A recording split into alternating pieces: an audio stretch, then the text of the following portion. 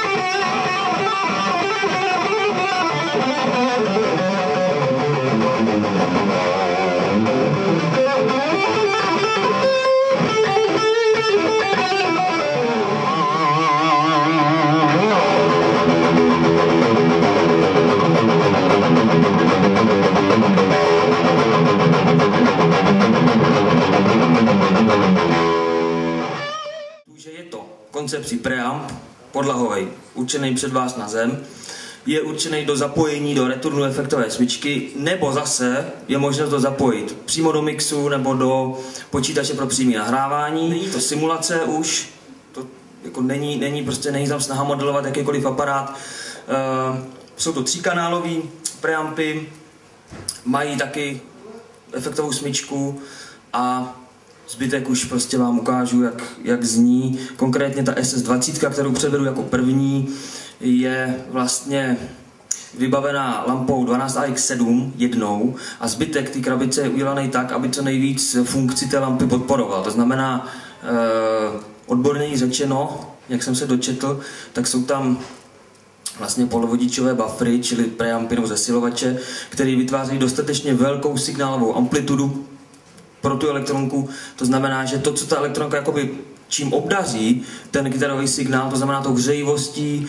a takovou, takovou tou lampovou kompresí, to nezmizí dál v těch tranzistorech. Jo, to tam v podstatě zůstane a jako maximálně využitý potenciál té elektronky. Um, SS20, já vám ukážu, ještě než ji zapojíme, vypadá takto. V podstatě všechno můžete přepínat pomocí dvou food switchů. Samostatný kanál Clean má k dispozici svůj equalizer, potom kanál Drive je společ, má společný ovladače s, s kanálem Lead, který můžete pomocí footwitche přepnout, ale kanál Lead a Drive oba mají eh, vlastní eh, potenciometry pro gain. To znamená, že máte sice stejný equalizer, ale máte vždycky jinou úroveň zkreslení u těch, u těch druhých dvou kanálů. Eh, ta 20, SS20 je oblíbená, nebo čím dál víc oblíbenější. Zase hodně u metalových hráčů, protože právě umí takový mohutný, mohutný distortion, kde zase je všechno čitelný, je to dynamický, šťavnatý a má to prostě nějaký charakter. Není to jenom taková, jako občas se stane u těch hybridních preampů, že, je, že ta lampa tam dodá něco, ale zbytek se prostě ztratí a je to spíš tak jako nepříjemně ostrý a té ostrosti se prostě nezbavíte potom. Takže rovnou já předvedu právě to, čím je ta SS20 jako nejzábavnější.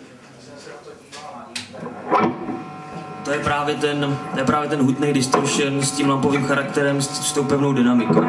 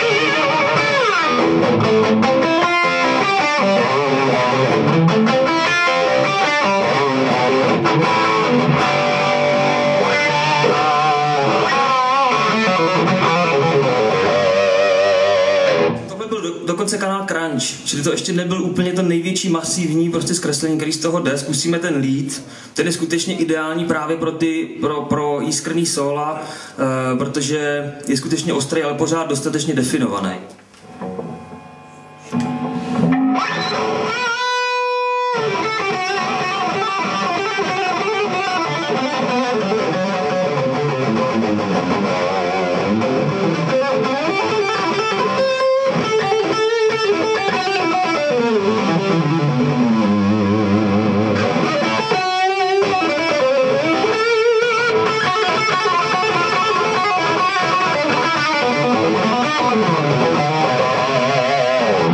Předvedu eh, jenom ten, ten čistý kanál.